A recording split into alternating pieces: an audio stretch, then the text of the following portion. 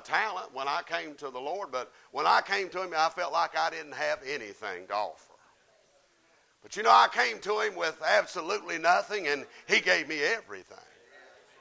He gave me everything. And I'll tell you what, I'm a firm believer that when Jesus comes into your life, He don't just change some of the things in your life. I believe He changes everything, don't you?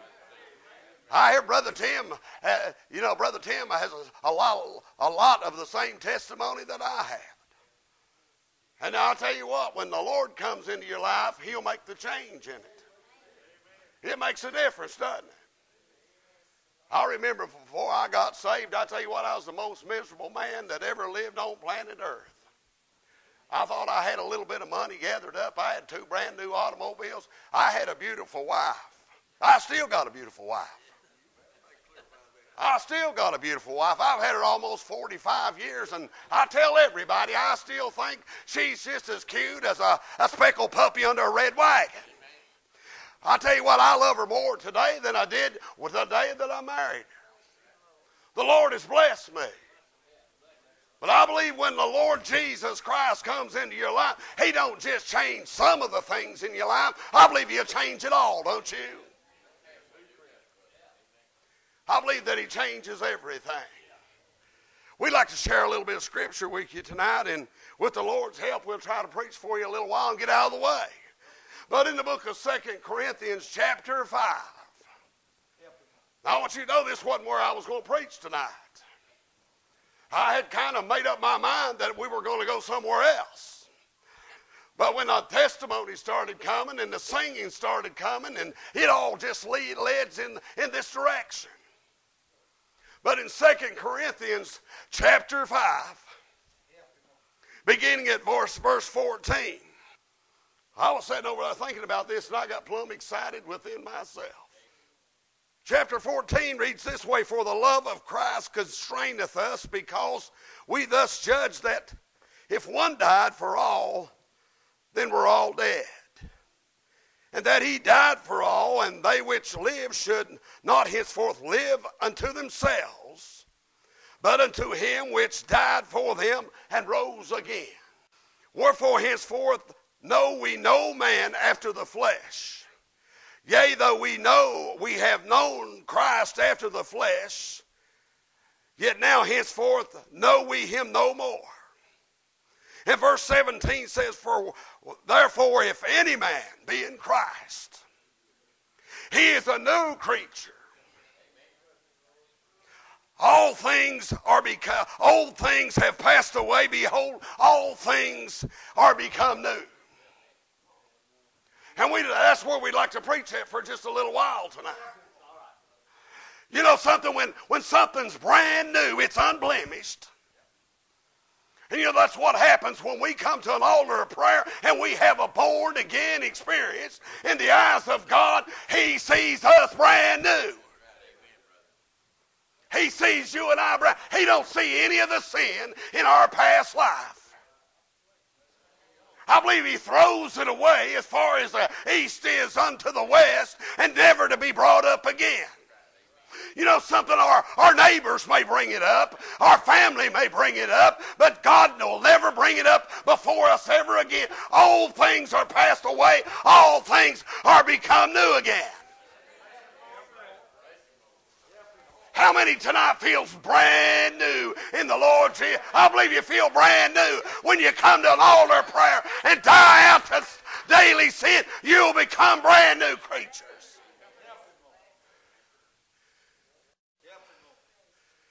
When Jesus changes you, he don't just change some of the bad ways that you got. He changes everything about you. I heard someone say, well, when I got saved, I'll tell you what happened. When he changed me, he changed the places that I used to go. He'll change your talk. He'll change your walk all of that old things are passed away and you become brand new in Jesus Christ. I remember the night that I got saved. I tell you what, I felt just as clean as a brand new baby child. Felt justified, just as though I had never, ever, ever sinned. When Jesus came into my life, he didn't change some of the bad habits that I used to have some of the little bad bywords that I used to say. He changed everything. Whew.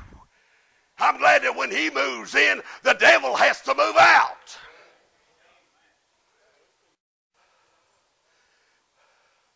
I've heard people say, well, I got saved and it took me six months to quit drinking.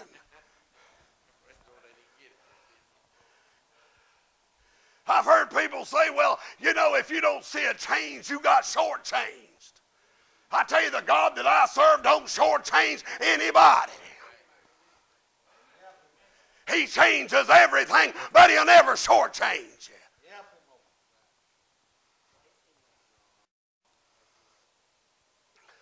The Bible speaks that there was a woman who went to a well one day. And Jesus had come into the land of Samaria, and he set thus on the well about the sixth hour in the day. In the heat of the day, a woman come to draw water.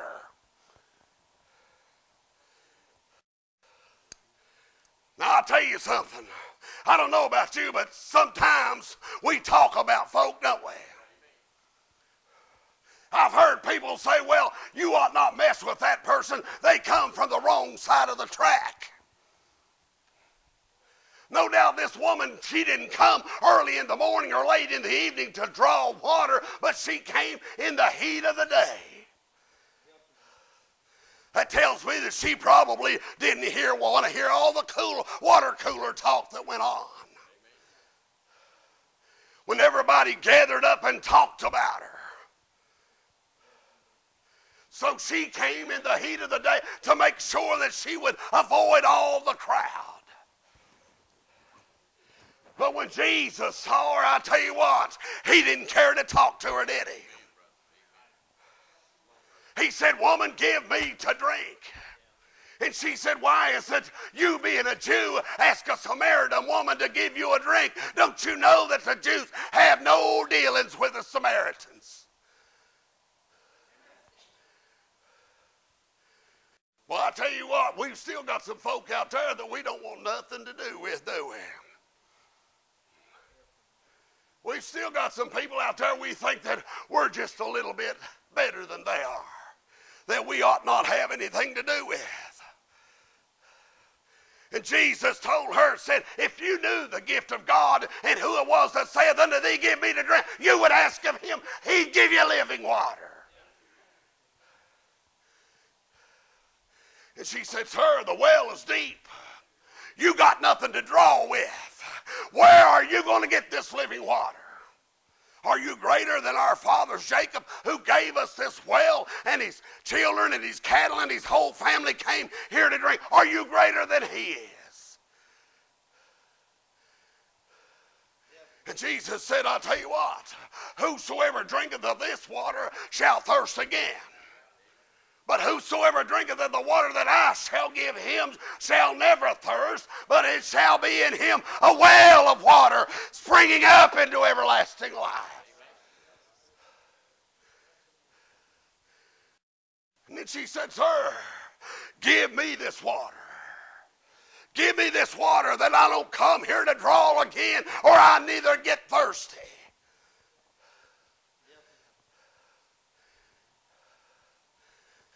Then Jesus said, Well, go call your husband. And she said, I ain't got no husband. And Jesus said, Thou hast well said, Thou hast no husband because you've had five of them, and the one you got right now don't belong to you.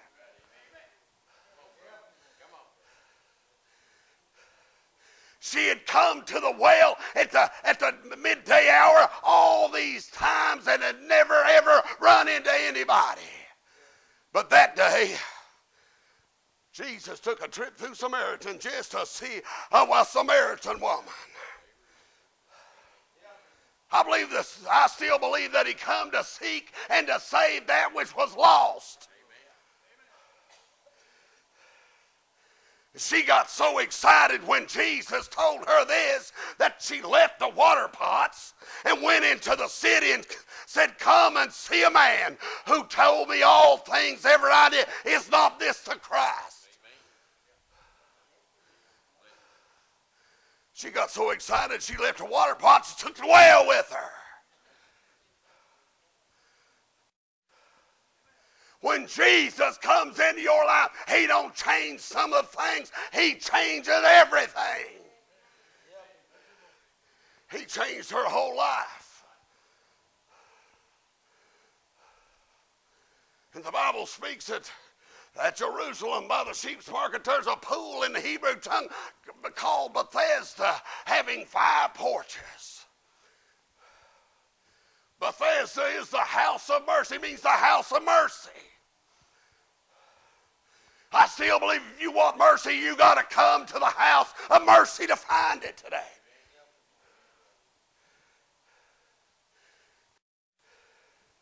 And the Bible said that there was a certain man there which had an infirmity 30 and 8 years. Now, I don't know if he was 38 years old. I don't know if he'd been sitting there by the pool for 38 years or not, but I knew that he was there. There's no doubt in my mind he was there. And the Bible said that on these porches lay all the halt, the lame, the withered, waiting for the moving of the water, for at a certain season the angel of the Lord would come down and would trouble the water. Well, I'll tell you what, the water almost got troubled here a little while ago.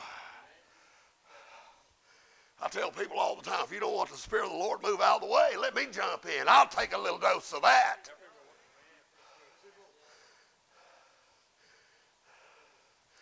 But the angel of the Lord would come down and trouble the water, and whosoever first stepped into the water after the troubling of the water was made whole of whatever disease that he had.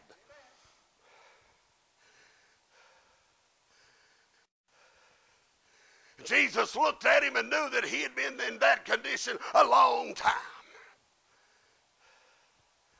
The thing about Jesus is he knows where you are and he knows what you stand in need of.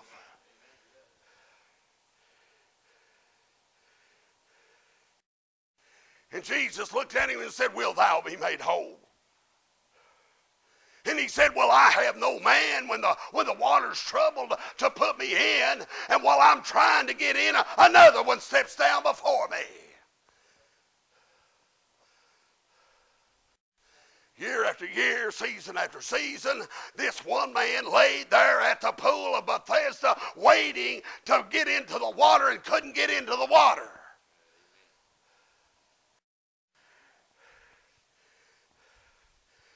My Bible don't say that Jesus reached down and picked him up and helped him into the water. My Bible didn't say that Jesus went over and got two people and said, Go ahead and put him in the water. He's next one in line for a miracle. But what Jesus said is, Will thou be made whole? And all of a sudden the excuses start coming up. Then Jesus said, Well, I'll tell you what you do. You take up your bed and walk. Now, I don't know where he got enough faith to believe the word. But I believe that he believed the words that Jesus spoke, and when he believed it, he got up and he walked.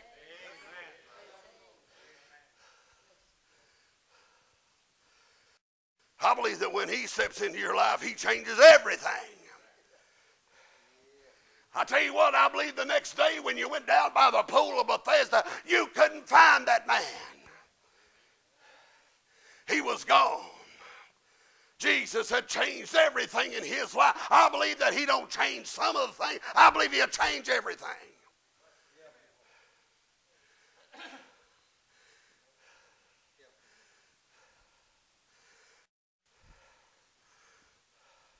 I tell people all the time before I got saved that my wife thought I had a drinking problem. I never did think it, but she thought I did. I didn't have a drinking problem. The only time I drank was when I was alone or with somebody. That wasn't no drinking problem to me. I've heard my wife say, well, if he ever quits drinking, he'll have to go to rehab. I want you to know I ain't tended one day at Betty Ford Clinic. I ain't been nowhere at no at no uh, alcoholic anonymous. How did you quit drinking? I didn't quit drinking. I changed water holes. Thank God, when He changes you, He'll change everything. I've said this before. I believe you get a good dose of rebirth, you don't need no rehab. I got some rebirth.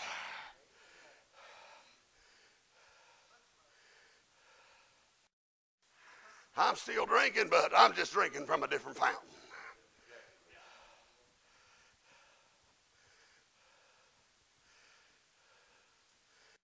Before I got saved, I so bad off the neighbor's dogs wouldn't bark at me.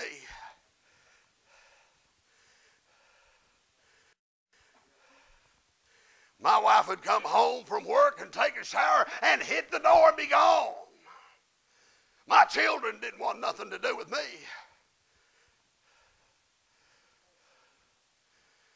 I'm telling you the truth.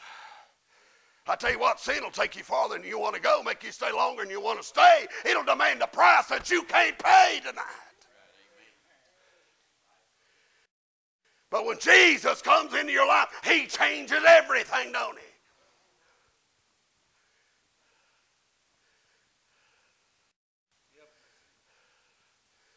Jesus was walking by one day and the Bible said there was a man there that was blind from his birth.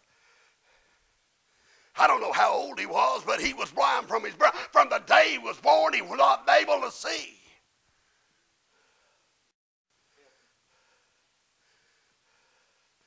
And the disciples said, Who did sin? This man here or his parents said he was born blind. And Jesus said, Neither has this man sinned, nor his parents, but that the word of God should be made manifest in him. And when he said that, he spat upon the ground and he took and made clay of the spittle and, and he anointed the young man's with eyes, eyes with the clay. And he said, I want you to go wash in the pool of Siloam. And the Bible said that he went and he washed. And when he washed, he came seeing. I want you to know I don't believe there was any magic potion in the pool of Siloam. I don't believe that there was any magic ingredients in the clay that he anointed the blind man's eyes with. I believe there was some miracle making ingredient in the faith that it took to walk over to the pool of Siloam and wash your eyes. All of his life, he'd been born blind. Hadn't had the opportunity to see his mommy, his daddy, his brothers, or sisters. Didn't even know who the preacher was. Then one day he went and washed, and all of a sudden, I believe as he splashed that water into his eyes, I believe a little bit of light filtered through. And I believe as he splashed a little bit more in, all of a sudden the image just started getting just a little bit clear.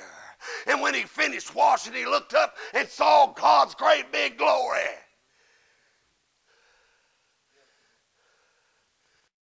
You talk about shouting, I believe he shouted all the way home, don't you? The Bible don't say that, but if it were me, I'd shout all the way home.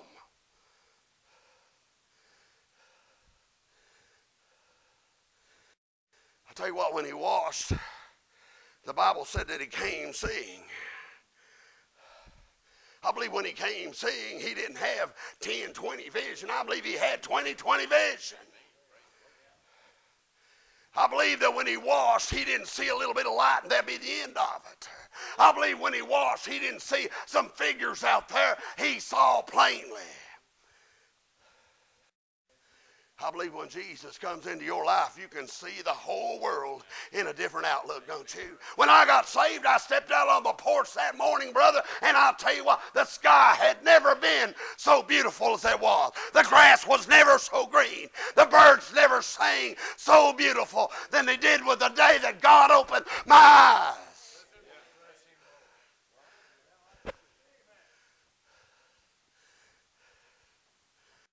when Jesus comes into your life, he just don't partially open your eyes. He'll open your eyes. He'll change everything, everything about you. The Bible says that you become a new creature in Christ Jesus. Old things are passed away. All things become new again. Thank God when He changes you, He changes you all the way.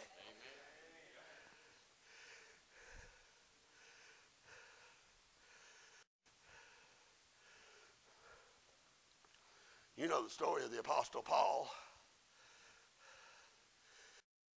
The Bible said that they took Stephen outside the gates of the city and they stoned Stephen outside the gates of the city. That old deacon that got called to preach, they stoned him. And the Bible said that the witnesses laid down their clothes at a young man's, man's feet named Saul. And the Bible said that Saul was consenting unto his death. And at that time, there was a, a great. Uh, a, a, great persecution against the church that was in Jerusalem, and they were scattered abroad except for the apostles. And the Bible says, as for Saul, he made havoc against the church.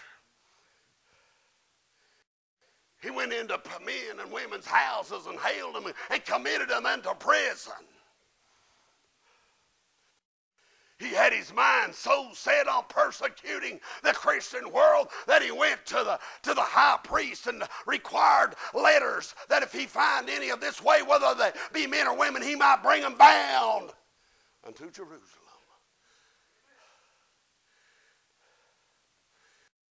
You talk about somebody that had their heart in the wrong place. Saul had his heart in the wrong place. I believe so Saul was so full of himself that he couldn't see nobody else.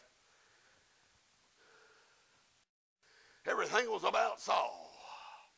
And the Bible says as he journeyed to Damascus, there shined a light around him from heaven and he fell to the ground. Then he heard a voice. He said, Saul, Saul, why persecutest thou me? And he said, Who art thou, Lord? He said, I'm Jesus whom thou persecutest. It's hard for you to kick against the pricks. And the Bible said that when he was raised up, when he was raised up, he opened his eyes and he saw no man. But they led him by the hand into Damascus, and he was there for three days without sight. And neither did he eat or neither did he drink.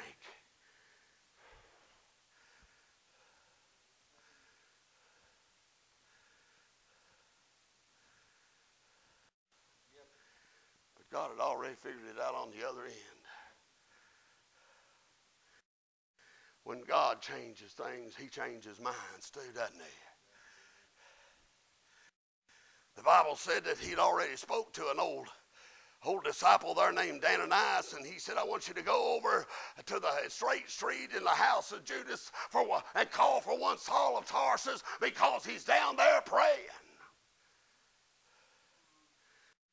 And he said, Listen, I've heard of many people of this man and how much evil he has done to the church, and you want me to go and lay my hands on him that he might receive his sight. He said, Go thy way. For he is a chosen vessel unto me. He's going to preach to kings. He's going to preach to the Gentiles. I tell you what, I'm going to show him the great things he must suffer for my cause.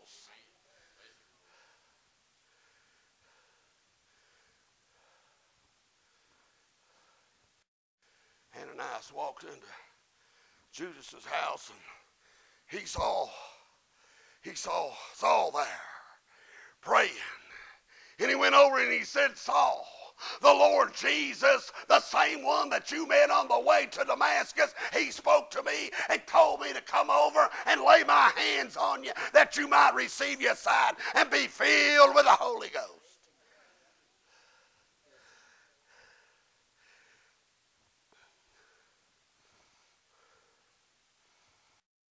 He touched him. And the Bible said, that when he rose up, it's as though it was scales that fell from his eyes.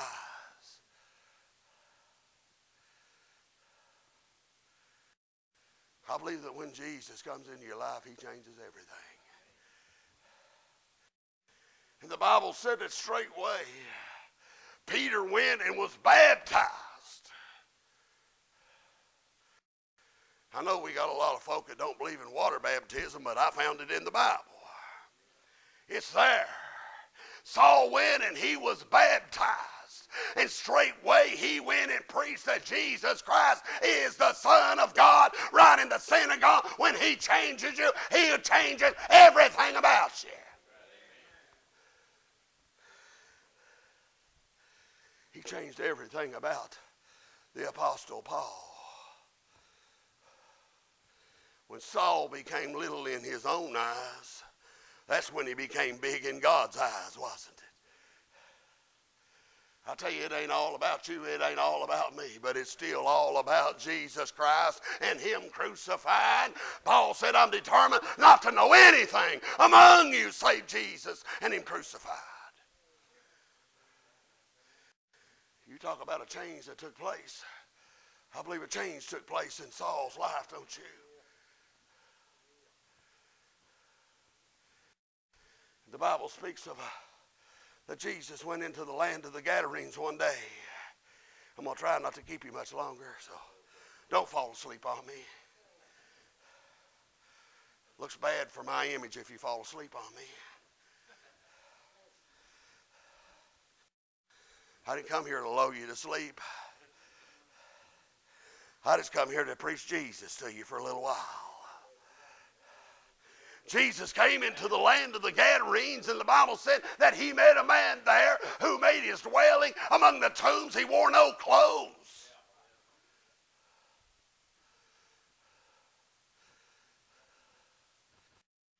Had lost everything he had. I tell you what, the devil's stealing everything that our people has today. He's stealing our young people. He's put them on street corners. They're peddling these paraphernalia and these drugs right on the street. I tell you what, the devil will steal your children. He'll steal your husband. He'll steal your wife. He'll steal your girlfriend. But Jesus can change everything.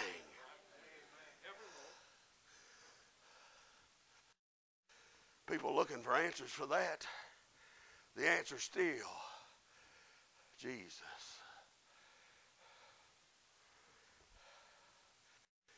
When this man saw Jesus, the Bible said that he fell down at his feet. And he said, I beseech thee, don't torment me before my time. I tell you what, the devil's only got a short time. He's running out of time today. Because the Bible said for oftentimes he was bound by fetters and chains. And he was driven to the wilderness, into the wilderness by the devil. And he'd go out there, and all night long you could hear him out there cutting himself with rocks and, and bleeding all over the tombstones.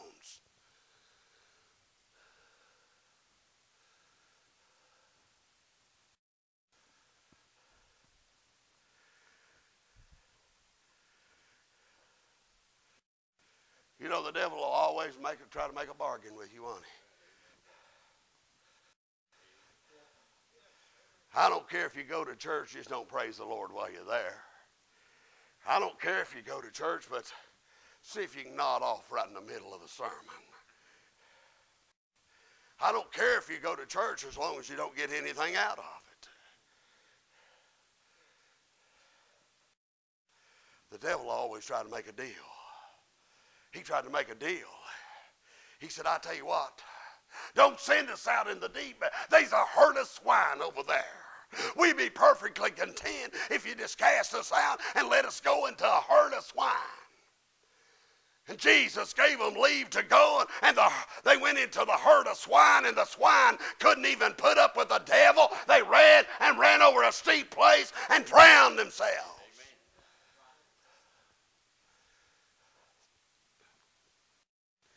I don't know how long this old boy made his dwelling among the tombs. He abode in no house.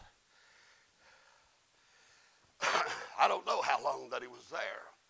But the Bible said that those that, that kept the, the, the swine went into the city to tell what was happened. And when they came back, I tell you what, they didn't find Legion out in the tombstone, cutting himself and bleeding all over the place and crying out, but they found Legion sitting at the feet of Jesus, and he was clothed and in his right mind.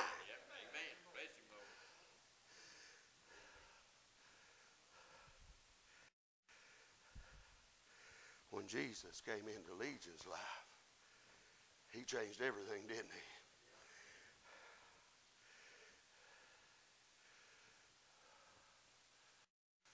That's what Jesus will do. He'll change everything. Yeah. Well, I tell you what, I remember when when he come into my life, I wanted to take him with me. Everywhere that he went. I said, Lord, if you don't want to go with me, just let me go with you. Have you ever heard tell of anybody got saved or even their countenance changed? They don't even look like the same person.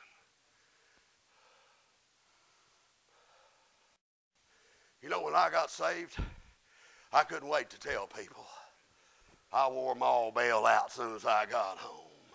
Everybody I knew, guess what happened to me? Guess what happened to me?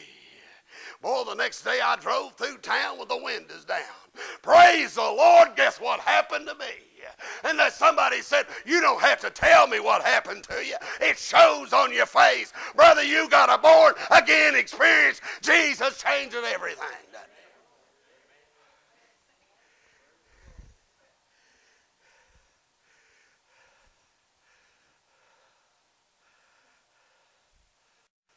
You know, there was a time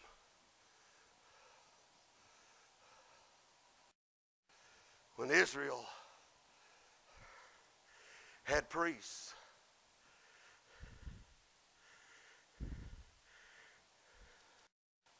And once a year, the priest would go into the Holy of Holies. They would take the blood of, of the lambs and the goats and the turtle doves and all of those things. I'll tell you what, that didn't really satisfy God. It only pacified him for a while. It only stayed sin for a season. It only hid it for a little while. But after a little while, the cloak was taken off and I tell you what, sin came up and into God's face once again.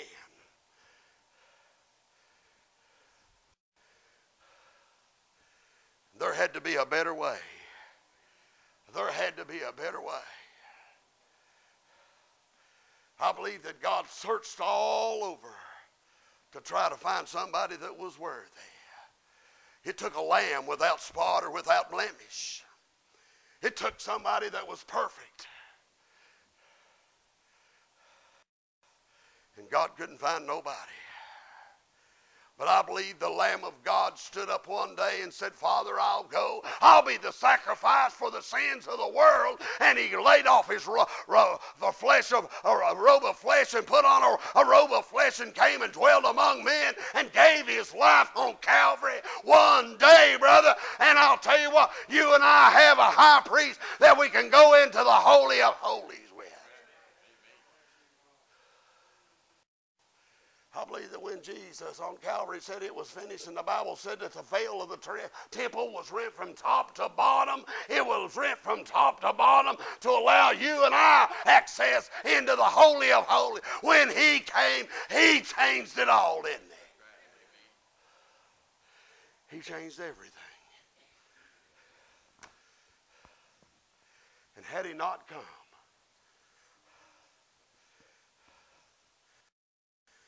You know, the Bible said that Jesus said, Do you not know that I could call 12, more than 12 legions of angels? And they'd come and they'd take me off the cross. And I believe they would come and they would have taken him off the cross. They would have destroyed this world that you and I lived in, and we'd have no hope. But because of Jesus Christ, you and I have hope today.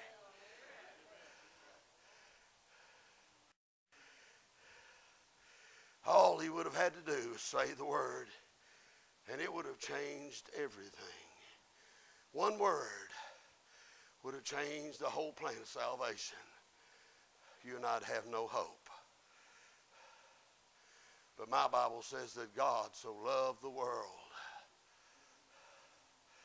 God so loved the world that he gave his only begotten Son. You know, salvation is free to you and I. But it cost heaven its very, very best. Didn't cost you and I nothing. But it cost heaven its very, very best. And all he would have had to do say, Father, send those angels. I cannot drink this cup of bitterness anymore. And it would have changed everything, wouldn't it? But God so loved you and I that his son was willing to leave the ivory towers of heaven and come and live in a sinful world without sin.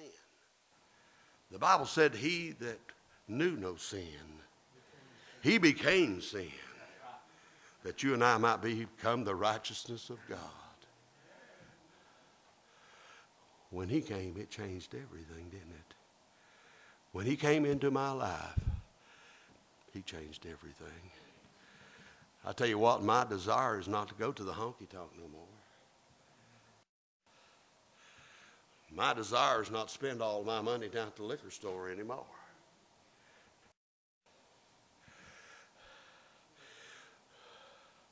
You can ask some of my old friends. They tell you that I used to be the life of the party. I'd be the first one there. I'll be the last one to leave.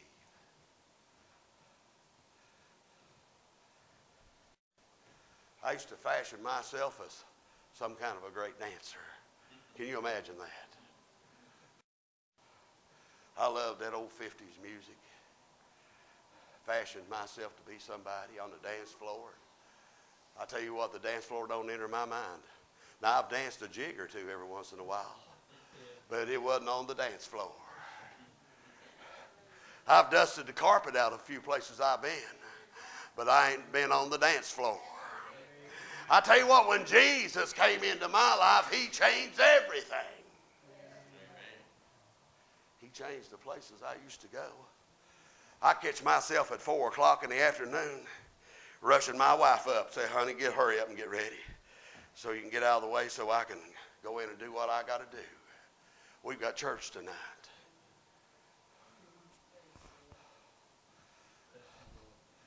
I tell you what, I spend a lot of time at churches. I've never left one of them with a hangover.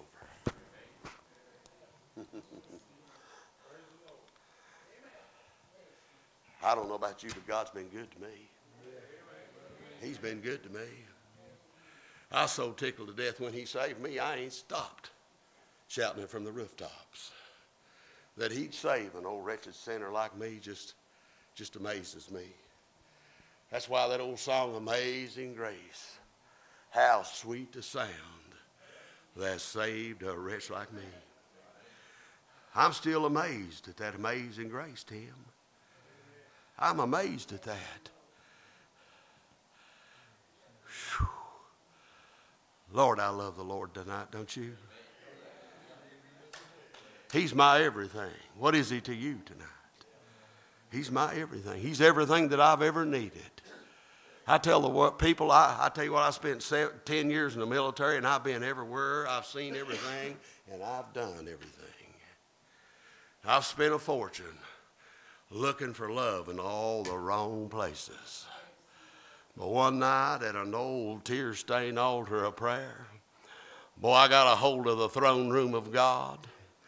And I tell you what, I found out what love's all about. The Bible said, No greater love hath any man than this. That a man lay down his life for a friend. He said, Ye are my friend. I'm glad tonight that I've got a friend called Jesus, and he changed my entire life.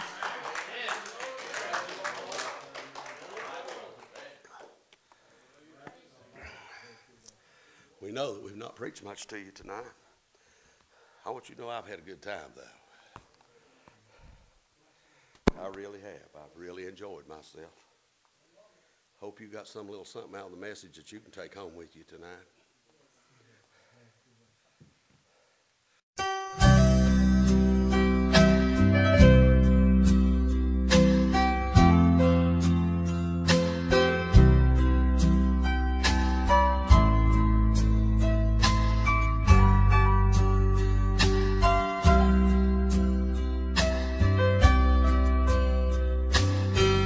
Minister had just closed out a revival in a huge Midwestern city. Stepped on a train and on his way home found himself seated beside a young man. For nothing better to do, just something to start up a conversation. Just something about the weather, just to kind of help to pass the time as they traveled. Then he noticed that he didn't receive an answer.